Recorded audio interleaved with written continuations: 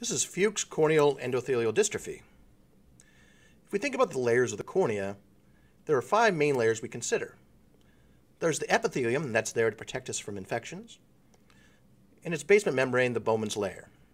There's the stroma, which composes the bulk of the cornea, and is largely composed of collagen fibrils. Followed by that, there's Descemet's membrane and the endothelium, the endothelium playing a critical component in maintaining hydration of the cornea.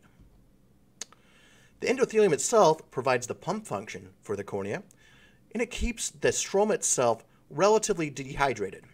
The stroma is typically around 80% hydrated, and that's because the endothelium pumps out water at all times from that cornea. Now, there are other factors that affect the hydration, the pressures of the eye, and a few other factors, but it's critical that the corneal collagen and those fibrils that are in the stroma maintain a constant size and alignment.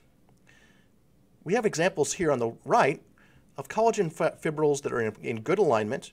They're all equidistant from each other. When that occurs, it allows for the cornea to maintain clarity. When those collagen fibrils get out of alignment, they begin to scatter light. And the reason why that is, is that light, when you're at perfectly spaced, all constructively or destructively interferes with itself, allowing for clarity. When those things become irregular, they scatter light and things start to appear white and not clear. Now here's two pictures of that. The lower image is of an eye that has clarity, and that's because the stromal fibrils are in proper alignment because they're hydrated properly from the endothelium.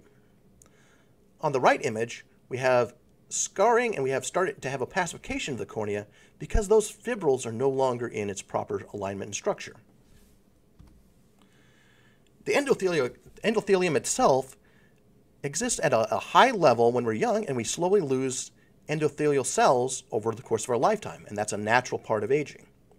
At birth, we have approximately 3,000 endothelial cells per square millimeter, and that decreases by the age of 80 years old to having about 2,000 endothelial cells per square millimeter.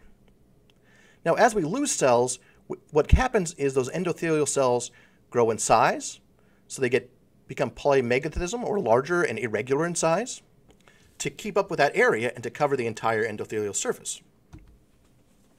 Now, if we lose an abnormal number of endothelial cells, this could be due to genetics, could be due to surgery, we have something called Fuchs corneal endothelial dystrophy.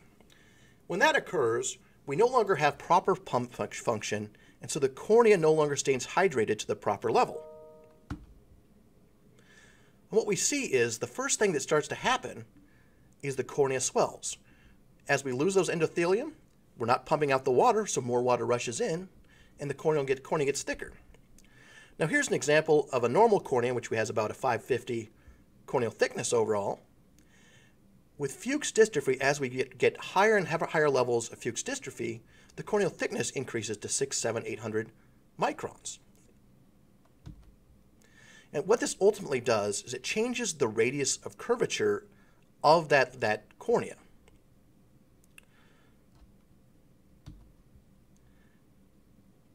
Well, with Fuchs, we also have a, a, secondary problem. If we remember, the cornea gets most of its oxygen from the environment.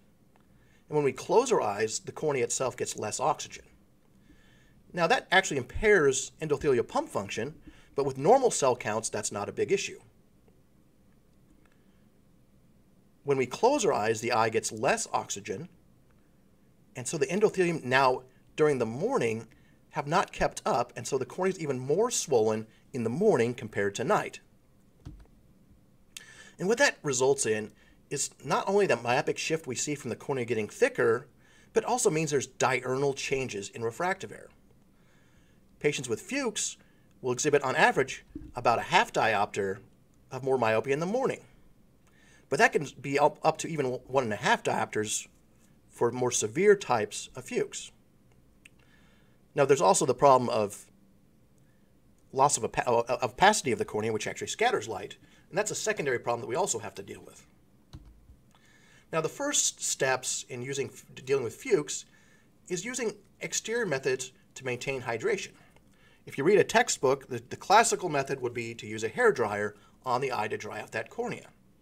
So when a patient wakes up, they could use a hair dryer, and hopefully they will reduce that swelling quickly. Now, from my experience with patients, this is not a useful method for very long, and it's pretty inconvenient. The next step is using hyperosmotic drops to actually pull water out through osmosis. And that's an example here of Muro 128, where they're using essentially saltwater drops, right? They're sodium chloride drops. And they install these drops in their eye, and the salt fluid hopefully pulls out water from the cornea. Now, there's an obvious problem with that, that putting salt water on the eye burns. Now, when methods of maintaining proper corneal hydration fail, you're start, going to start to see those large refractive shifts, shifts that are occurring. And so sometimes you need to consider prescribing a refractive compromise. So as an example, if a patient is a four diopter myope in the morning and a two and a half diopter myope in the evening, you might consider prescribing in between those two at three and a quarter diopters. This puts the person about half to three quarters of a diopter off in any point of the day at the worst. That though leaves them as functional vision, where they see approximately 2040. And remember, functional vision helps us with driving. Bringing around 2040, can we can drive. We can read most pr normal printed text at 2040. So at times, you'll have to actually consider a, a refractive prescribing compromise that maximizes their functionality, even though you can't make their vision perfect at any one time of the day. You might think you can over minus some of these patients, and they'll just accommodate through it. But this is largely a disease of people over the age of 60. They do not have accommodation. So over-minusing is really not an option for the vast majority of people with Fuchs. And a person under the age of 40 that still has accommodation would have a very severe form of Fuchs if they were having it. Now, ultimately, this corneal swelling leads to blisters of the epithelium called bullae, which can be painful.